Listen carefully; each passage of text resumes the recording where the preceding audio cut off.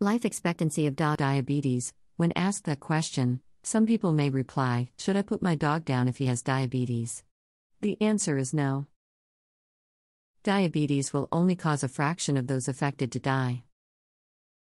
A dog's expected lifespan with diabetes The average lifespan of a dog with diabetes is about 12 years. Over the first few months of being diagnosed, your dog can live an additional two years if they aren't untreated. Diabetes in dogs is something that can be cured with treatment.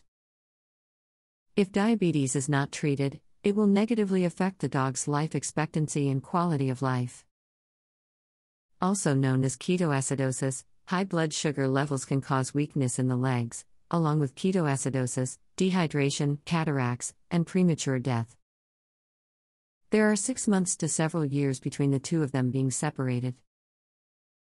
Your dog's quality of life will improve dramatically as long as you use insulin to control the level of blood glucose in the dog's system. Dog diabetes treatment length of survival Diabetes diet is the first step in the treatment of diabetes in dogs. To keep the blood sugar levels in check, you should give your dog a low sugar and low fat diet while drinking too much water can be a sign of diabetes. Excessive thirst can also be a symptom of diabetes. An overabundance of glucose or an improper process of breaking down glucose can lead to a dog feeling thirsty. If you frequently go to the bathroom, this may be an indication that you have diabetes related to excessive water consumption. It is possible that your dog has diabetes if you find that he drinks more water and has frequent urination. People who have lost or gained a lot of weight quickly may have diabetes. The more lethargic your dog, the more weight it will gain. Diabetes may occur due to other health problems, like an infection, that cause the dog to lose his appetite. If your dog has diabetes, how do you know? Changes in your dog's eating, drinking, and weight change should be monitored if diabetes occurs in older dogs. Some common signs of diabetes include drinks large amounts of water, pungent, fruity, and a foul smelling breath. There are several symptoms that appear in diabetic dogs. Engages in heavy drinking, much more than usual, devouring everything in sight, a rapid or sudden loss of weight. While there are no known causes for canine diabetes, certain factors do increase your dog's chances of getting the disease. The following factors are considered diabetes is more common in female dogs that have not been spayed. Seniors are more likely to get this disease than middle aged dogs. In the past, an attack of pancreatitis could potentially damage the pancreas over time, which then impairs the body's ability to produce insulin. Obesity, which may cause insulin resistance, is a factor in weight. For many dog owners, genetics may be a deciding factor when getting a new dog. Be sure to check your paperwork with the Kennel Club if you got your dog from a breeder. You should not overlook diabetes as a possibility, even if your dog does not exhibit any of the symptoms described. According to Drive, O'Kell, says the dog expert, all small dogs, including the following breeds, are likely to develop diabetes, though all dogs can develop the disease. Age is also a significant factor. On average, a dog will get diabetes between the ages of 5 and 7 years old, claims Drive. Rarely, dogs can develop diabetes before they turn 5, or they can even be born with it. Nonetheless, these events are uncommon. Therapy while you are under the care of your veterinarian, a specialized diet and exercise program will be implemented in order to prevent fluctuations in glucose levels. Additionally, you will learn how to check your dog's blood sugar levels. Once your vet determines the type and dose of insulin you will administer to your dog at home, you will also receive instruction on how to give the injections. Doctors learn more about the disease and therefore new treatment plans are easily developed as a result. Continue reading to learn more about what diabetes mellitus does to a dog, common signs and symptoms to look out for, and the most critical piece of information how to keep your dog healthy for as long as possible. With the help of your veterinarian, you'll learn how to handle your dog's diabetes at home. Furthermore, you'll learn essential skills that help maintain your dog's quality of life while extending his slash her life. The total cost of treatment. Dealing with canine diabetes can be costly and frustrating, given the number of injections and search for the correct dosage. This disease requires a lot of patience, as the pet parent must spend a lot of time with their pet. During the early stages of treatment, the price of diabetes in dogs is quite high, but the expenditure is significant. The price of your dog's diabetes medicine depends on the type of insulin and dose, which may cost $40 200 per month. The average life expectancy of a dog with diabetes is 7 years. According to Drive, O'Kell, insulin injections are a critical part of the treatment for diabetes. Type 1 and Type 2 diabetes in dogs differ in how long they last. People with diabetes type 1 don't have enough insulin produced by the pancreas to convert sugar in the blood into energy. Type 2 diabetes in dogs is diagnosed when the body's response to normal amounts of insulin in the blood is deficient. Insulin dependent diabetes mellitus, the most common type of diabetes in dogs, is called type 1 diabetes. Type 1 diabetes is said to occur when a dog is dependent on insulin, making him slash her insulin dependent. When the pancreas does not produce enough insulin, this occurs. Without insulin, the body can't use sugars, fats, and proteins efficiently. Without a location to which it can be transported, that glucose remains in the blood. Desperately trying to filter the excess sugar from the system, the kidneys put in extra effort to rid the body of it. At this point, a vicious cycle develops with no sign of slowing down. When there is not enough sugar converted to energy, the brain senses a lack and works to increase sugar consumption. Type 2 diabetes of the diabetic process Although this type of diabetes occurs more frequently in older, obese dogs, it doesn't occur solely in them. Dogs with diabetes insipidus have an extremely intense thirst and excessive urination. They have this metabolic condition, and they urinate frequently to the point where they lose control of their bladders. Dog diabetes life expectancy, insipidus diabetes duration for dogs. It is a difficult question to answer because of the variety of factors involved. Every dog has a unique lifespan because of his slash her age, underlying health conditions, and the type of diabetes insipidus he or she has. This disease is completely treatable. Read this post in its entirety to learn all the signs and symptoms of any problem, then trust your instincts if you believe anything is wrong. Diabetes insipidus has two basic types, and the one which is more easily treated is called diabetes insipidus. Anomalous, or primary, Central diabetes insipidus in dogs vasopressin is the hormone responsible for this condition. Vasopressin is secreted by the pituitary gland, which is found in the brain. It is a water retention regulator. This phenomenon occurs when the body can no longer maintain water levels long enough to properly nourish and hydrate it, so the body secretes it quickly. Even if your dog drinks as much as he or she wants, they just can't seem to get enough. The water exits the opposite end. As a result, there is a severe dehydration cycle that begins. Dehydration in dogs can show in several ways. When you pinch the skin, it doesn't spring back. If you pull the skin a little on the back of the neck, it will easily return to its original position. This object should rebound. Decreased appetite vomiting, whether it's accompanied by diarrhea or not. Exhaustion, gasping for breath, dull, unfocused eyes, drying nasal passages, candy coated gums. One type of diabetes in dogs, called neurogenic diabetes insipidus, needs to be treated with a synthetic version of the hormone ADH, antidiuretic hormone. The type of diabetes termed idiopathic by veterinarians does not have a known or obvious cause.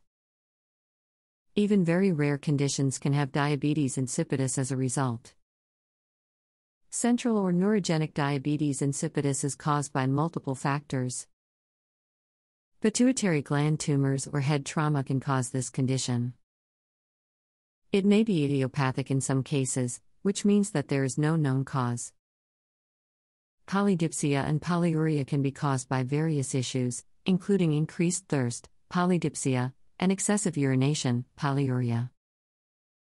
Also known as diabetes mellitus is a different type of diabetes entirely that is unrelated to diabetes insipidus. Pancreatitis, kidney disease, hyponatremia, hypercalcemia, and central pontine myelinolysis kidney disease Cushing syndrome heat stroke causes cancers. Leprosy type 1 diabetes The lifespan of a dog with central diabetes insipidus is only 7 years. Diabetic dogs with central diabetes insipidus can lead long, healthy lives if they are properly treated. A synthetic hormone, such as oxytocin, is given to replace the vasopressin that the pituitary gland lacks the ability to release. Desmopressin, an antidiuretic hormone replacement, is used, also known as DDAVP. The drops or injection can be administered under the skin or into the eye. After how long does desmopressin take to begin working in dogs? It may take from 1 to 2 hours for desmopressin to begin working for dogs. It takes about 2 to 8 hours for maximum efficiency to be reached. The effects of this supplement can last for up to 24 hours in some dogs. There are possible side effects associated with using desmopressin in dogs. Some dogs may experience eye irritation when taking desmopressin. Your dog is quite allergic to something. If he or she develops hives, facial swelling, or breathing difficulty, make sure they get medical attention immediately. Most dogs, however, do not experience severe side effects during normal situations. Weighing the benefits of a medication against the diseases it's being used to treat is crucial for veterinarians. If you fail to give your diabetic dog medication, the risks are substantial. Without treatment, this type of diabetes causes severe dehydration and death in dogs.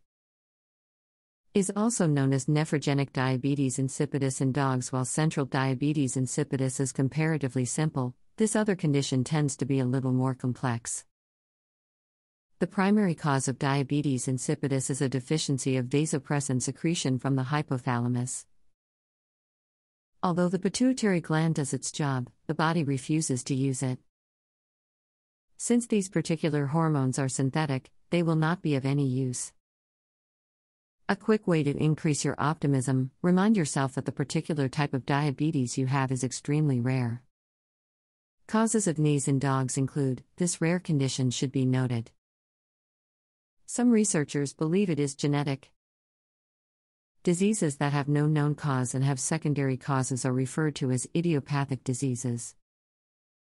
All the things in the secondary section are things like kidney failure in people with diabetes, liver disease, Cushing syndrome, a deficiency of potassium, low blood potassium levels, inflammatory pyometra, infection of the uterus, sometimes, drug side effects occur. It is extremely rare for someone to have hyperthyroidism. A dog's lifespan with nephrogenic diabetes insipidus is about 6 to 9 years. The life expectancy of this breed of dog is only a few years. As there are few treatment options for dogs with nephrogenic diabetes, that is why. He is not saying that the disease is necessarily a death sentence, but it will necessitate frequent monitoring and a whole new lifestyle that entails major changes to the way you live. Keep a supply of fresh water on hand for the dog at all times. Do not worry, go ahead and let the dog relieve itself much more frequently. The veterinarian may sometimes prescribe a low dose of hydrochlorothiazide with a low sodium diet that has been specifically tailored to the patient.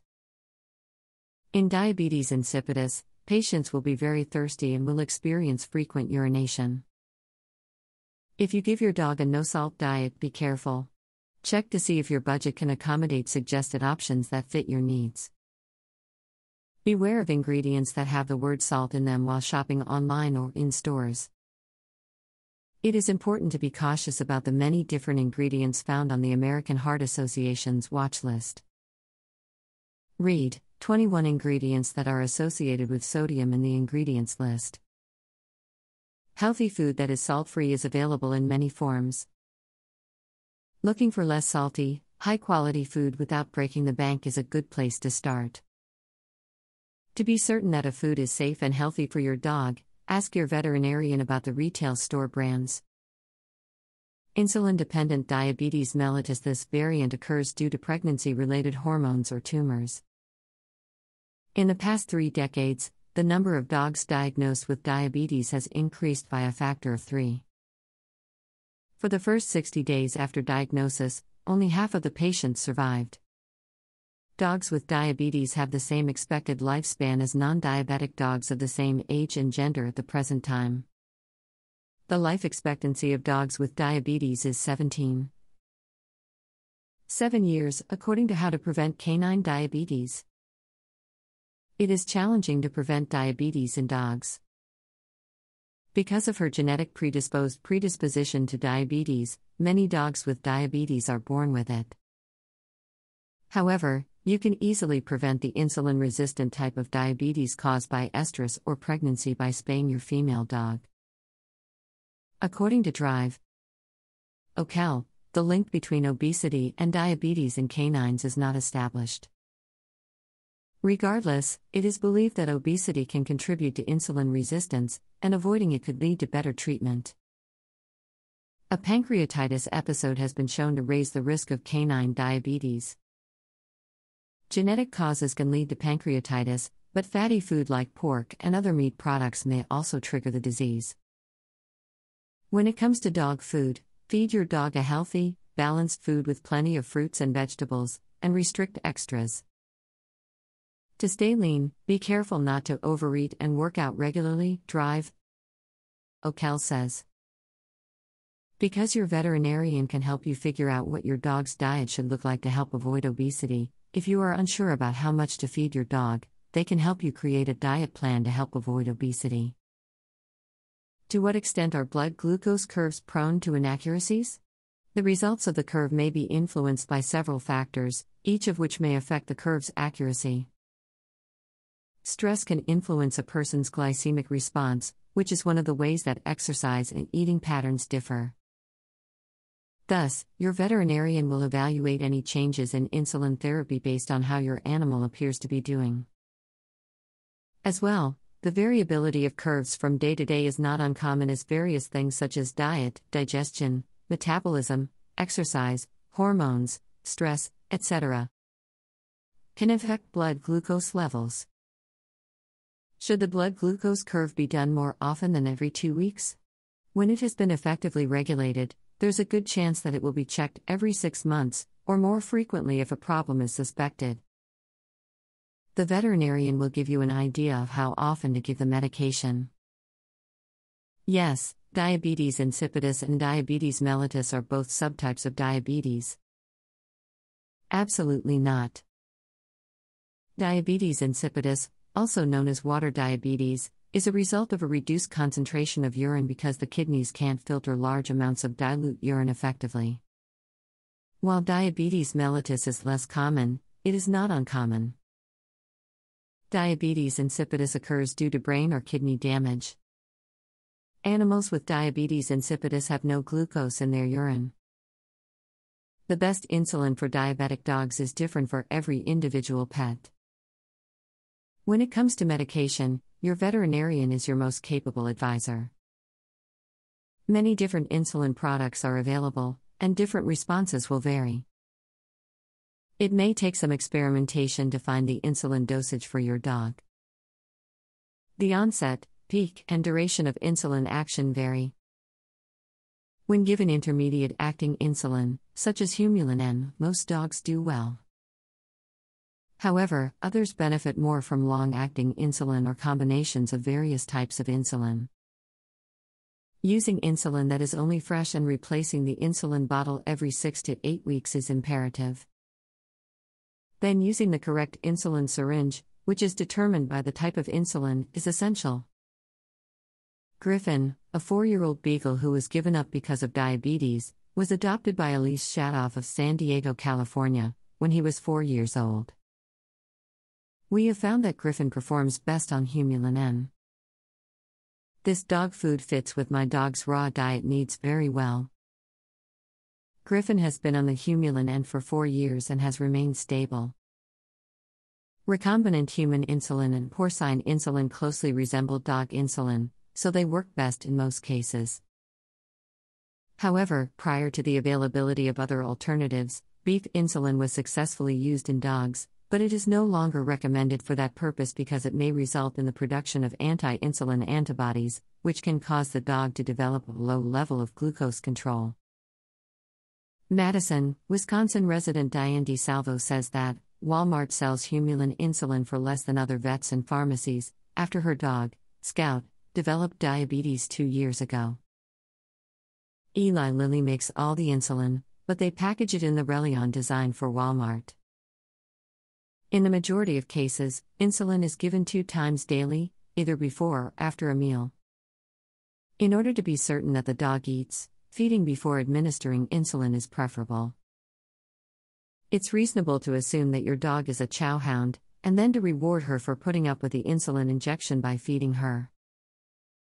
Most dogs tolerate injections well, as the needles used are very thin.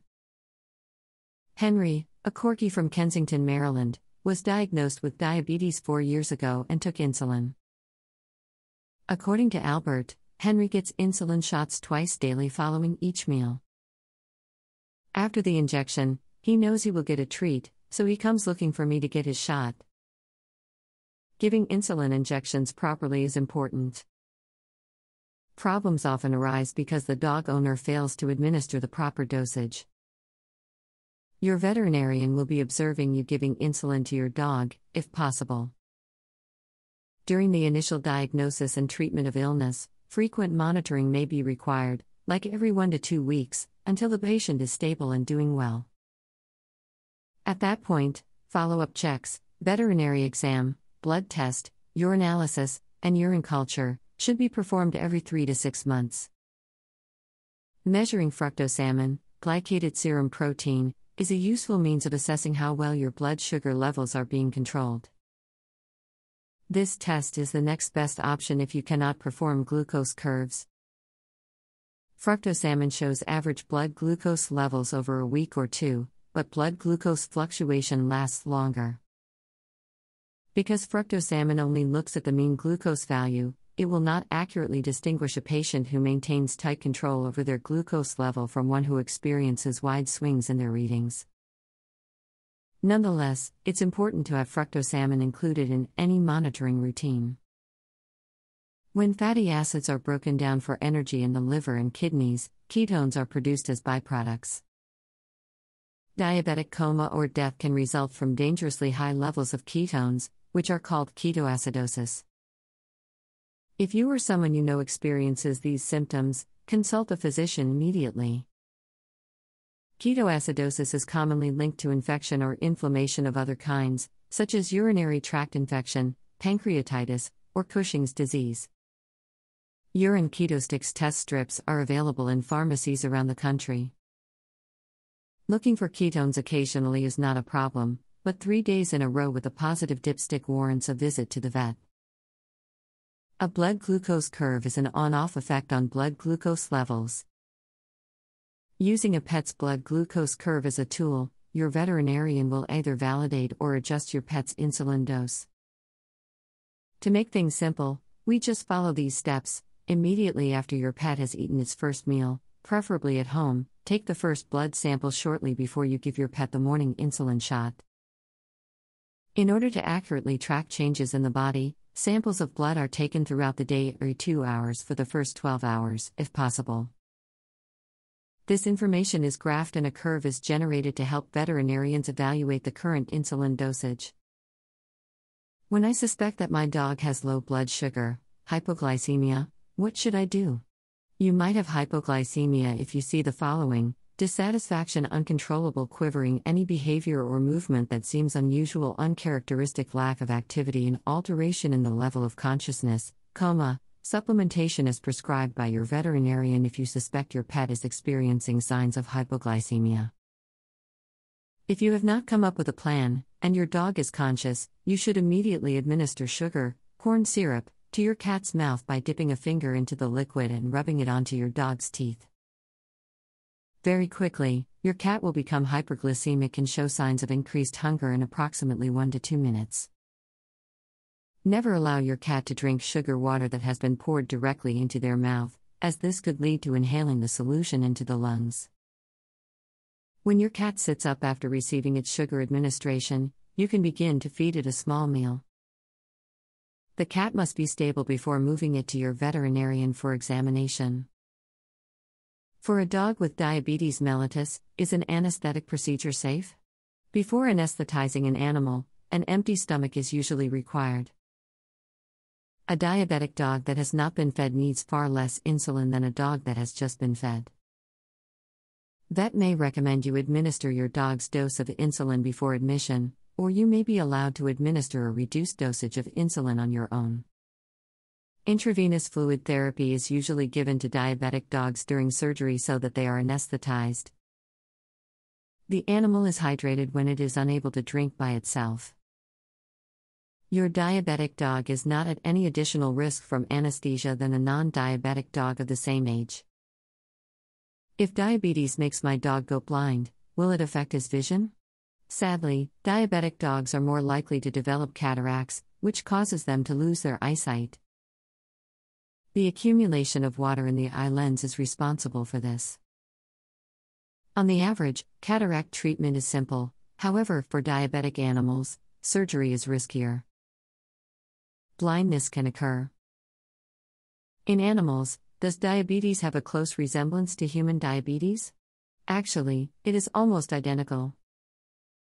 As your dog is being treated for diabetes, he will use the same equipment, medications, and monitoring methods as human diabetics use. Polyuria, polydipsia, and polyphagia mean how many more or more frequently urination, drinking, and eating occur than normal. Polyuria is a large quantity of urine production in a short time, e.g., per day. Polydipsia is a long term or chronic condition of excessive thirst. Polyphagia is a wonderful form of yearning. At what age should a dog with diabetes be put down, and what is the expected average lifespan? It can be especially difficult to accept that your dog has a disease because, in the case of canine diabetes, there is no known cure. To begin with, you will have to think about when you may need to put your dog down and how long they might have to live. It is widely held that diabetes in dogs is fatal, thus, when diagnosed, dogs should be put to sleep.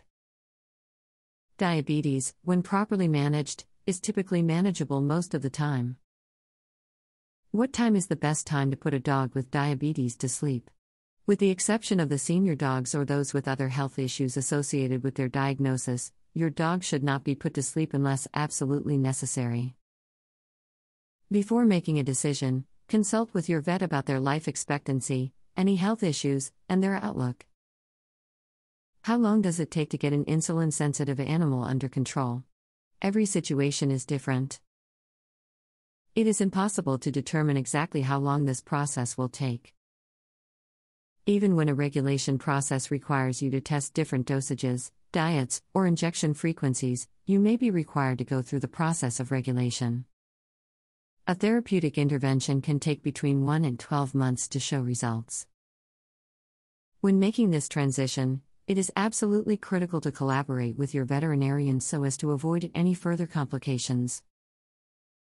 Once your dog is under control, you will still need to visit the vet regularly to keep it in good health.